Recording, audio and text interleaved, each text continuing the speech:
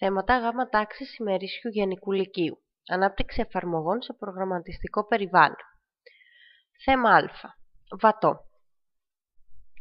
Θέμα Β. Δεν έχει κάποια ιδιαίτερη δυσκολία. Θέμα Γ.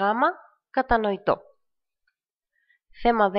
Αναμενόμενη άσκηση.